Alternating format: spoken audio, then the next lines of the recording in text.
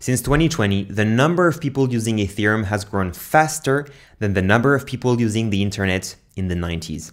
That's impressive, but it brings challenges. Ethereum was built to have high security and decentralization, but wasn't built for this much traffic. So it's extremely congested at peak times, and this means low speed and high fees. This is where layer 2 rollups come in. They sit on top of the main blockchain and they're able to process transactions in batches, hence the name rollup. So they can make Ethereum cheaper and more scalable. In fact, a whole bunch of rollups are fighting to become the Ethereum scaling solution. Arbitrum, Optimism, zkSync, Polygon zkEVM, and Starknet all claim to have the answer to Ethereum's congestion problem. But which one is going to win? Can there be more than one winner? That's what we're going to explore in this video.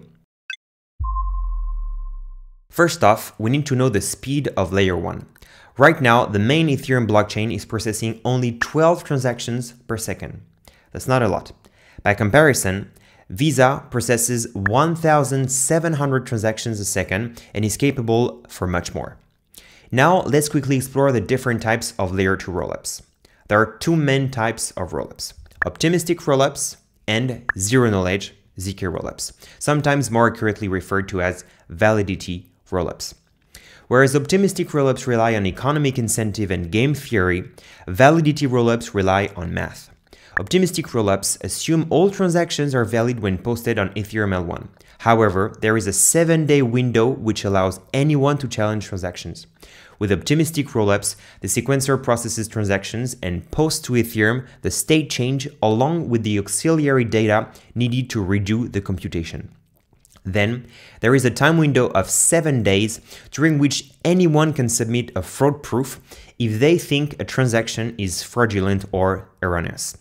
If the proof is successful, the state change is discarded and the rollup has to re-execute the transactions.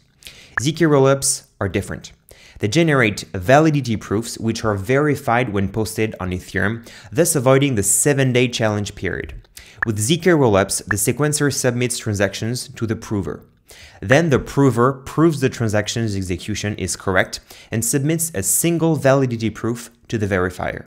Then, the verifier, which is a smart contract on Ethereum L1, tests the validity by setting a series of mathematical challenges that would be infeasible to solve if the prover hadn't done the correct calculations. Now, the most interesting part. Let's compare the five most promising rollups. Arbitrum 1 is an optimistic rollup.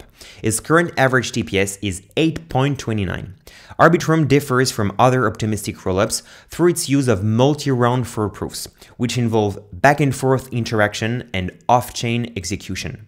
The Ethereum L1 only has to execute one step, and the process is designed to be more gas efficient than alternatives.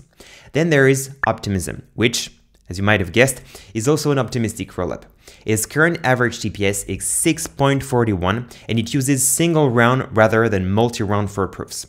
These single round proofs execute on layer 1 and thus consume higher gas fees, but they may ultimately enable validators to challenge entire blocks of transactions. Know that the single round proofs are not yet live, so currently users have to fully trust the block proposer. But there is a problem with both these projects. With optimistic rollups, all nodes that want to verify the correctness of the state need to rerun all transactions. That's computationally draining and cannot be really scalable. Now let's talk about the second type of rollups, ZK rollups. zkSync Era and Polygon zkEVM went live at roughly the same time and both use zero knowledge technology.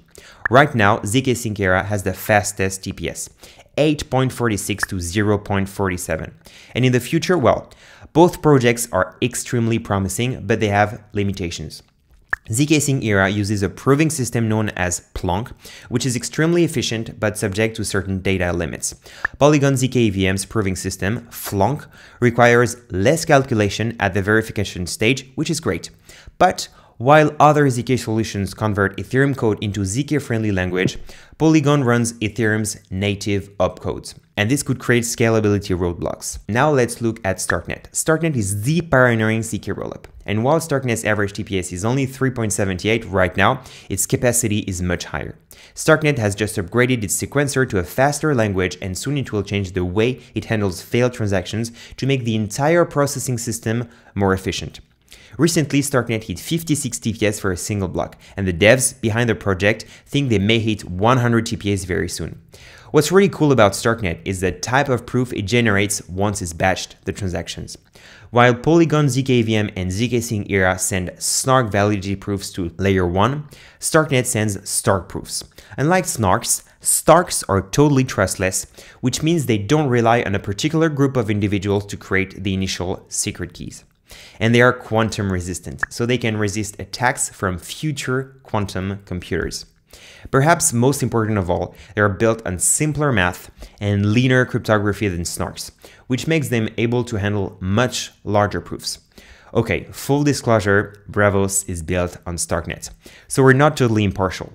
But the above is part of the reason we decided to build on Starknet, and we recognize that Starknet has its challenges. If you're a developer and want to bring your Ethereum dApp on Starknet, you will have to rewrite your dApp in Cairo, which will take a bit of time. On the other hand, EVM brings with it a lot of dead weight to ZK rollups, as the EVM wasn't built with the intention to be mathematically proved. So the best thing we can advise is to try Starknet for yourself.